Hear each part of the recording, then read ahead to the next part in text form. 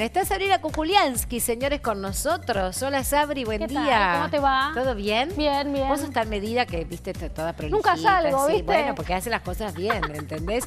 Señora, se viene 25 de mayo. Sí, estamos en, en- en- en el mes, el mes patrio, ¿no? Sí, y por suerte está bajando un poquito la temperatura, porque si no, como que son todas comidas muy calóricas. ¿no? Calóricas, de olla, que necesitan además un buen vino tinto atrás que lo sustente. Ay, qué ¿no? rico. Qué hermoso todo. Bueno, contame. Hablemos, hablemos de cuáles son las comidas que, digamos, si, si hablamos de cocina argentina, uno siempre Sí. habla del asado, de la empanada. Bueno, este es el mes, la semana, el momento donde hay que comer la comida argentina. Hay y que criolla. permitírselo.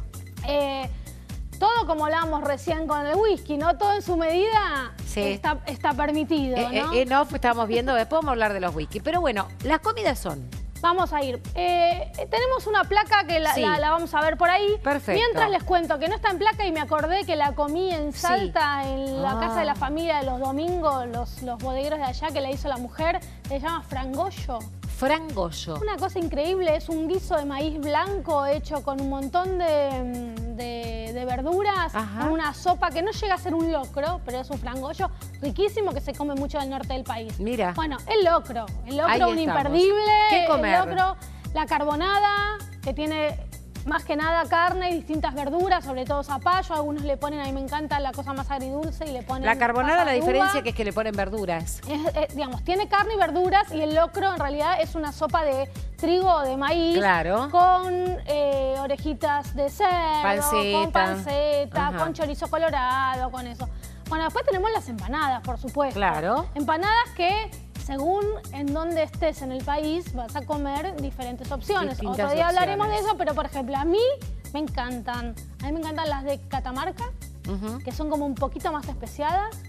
Las mendocinas son bien chiquititas, Sí. o sea que te comes un montón. Sí, las salteñas también algunas son medio chiquitas, ¿eh? Sí, las salteñas tienen un poco más de papa. A mí me gusta, me gusta mucho la salteña. ¿Te gusta la Que salteña? tenga papa me gusta. Y a mí me encantan las tucumanas también. Ajá. Las tucumanas que también tienen esta cosa, a veces le ponen un poco más de pasas de uva. Claro. Este, así que bueno, cada, cada uno con su receta familiar y, y- y local. Pero empanadas también está, por supuesto, como permitido. A lo mejor probar otra opción en este, en Sí, este mayo. Sí, son, digamos, como que, que no es una comida argentina sino Claro, una empanada, ¿no? Siempre está además Claro. como, como, como entrada de, de- de la comida. Ajá. Bueno, después tenemos humita en chala. Humita en chala que es la pasta del, del choclo del maíz, Sí. hecho una, una sopa, pero queda más una pasta y se come en la chala del choclo.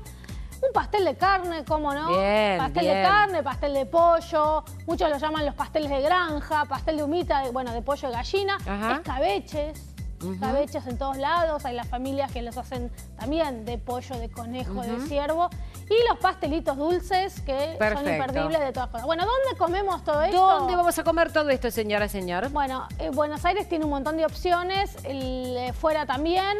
La morada, no se pueden perder las empanadas de ahí. Ok. Ahí cualquier empanada es riquísima. También tienen los guisos, también, perdón, tienen el, choc- el locro, que además la, fritura del choclo, que es ese pimentón con cebollita, con todo, que se le agrega riga al finalizar, antes de, de- de servir la comida. Bueno, seguimos. Tenemos entonces la morada, tenemos em, Cabernet, esto es en pleno, Belgra- en pleno Palermo. Ajá. También tenemos para, para esta fiesta su menú especial.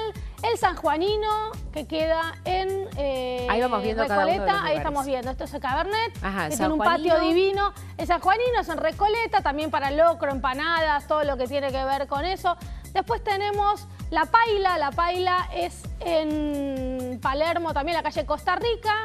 Eh, pan y teatro, este por favor vayan porque el lugar es tan lindo. Pan y teatro. lindo. Hace años que no voy, pero Bueno, he ido. Es divino. Es divino, está en eh, Muniz y Las Casas.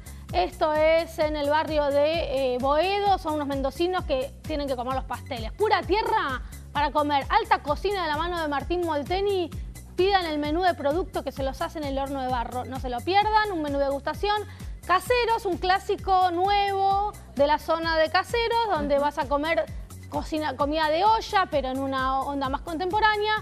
Y para terminar, la perichona en Venezuela, en San Telmo, la Perichona como, como cierre, que era la amante de Liniers, la que le hacía las mejores, cocinas, las mejores las comidas más ricas. Así que bueno, acá tenemos como un, un popurrí de, de algunos lugares, por supuesto, como siempre decimos, y mándenos por Facebook cuáles son sus lugares preferidos. Perfecto. Para poder ir sumando a la lista. Perfecto, buenísimo. Bueno, y bueno, con esto, como decíamos, ¿no? Acá tenemos más lugares. Más lugares. El Viejo Cañón en Aldevellaneda, Cumaná, eh, también que es como muy, muy informal, en Recoleta, 1810, las empanadas, por favor, son riquísimas y los, el pastel de carne.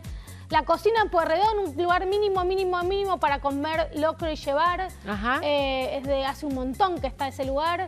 Este, bueno, todo esto, ¿con qué lo acompañamos? Con un vino tinto. Puede ser un Malbec, puede ser un Cabernet, puede ser un blend. Tienen que ser vinos que tengan estructura y mucha elegancia. Claro. Pero que también podamos beberlos y que no sean esas cosas que tomás mm. una copa en toda la, noche, ¿no? Que podés con amigos disfrutar y que sean bebibles. Yo creo que está bueno, por ejemplo, ¿qué cae el 25? El domingo. Domingo, el mismo, Fue fantástico. Domingo al mediodía te pega una siesta hasta esa hora, ¿no? Claro. Sabrina, gracias. No, por favor. Me encantó. Nos vamos a la pausa. No te vayas de ahí porque se viene toda la música, ¿eh? Después, ¿eh? Y viene la, la, la ¿cómo se llamaba la casona de...? De Mesina. ¿Sabés qué es? Del Mesías, la casa del Mesías. La casa rodante donde se van cuatro chicos a ver el Mundial de Brasil. Qué divertido. Está buenísima. Pausa, dale, ya venimos.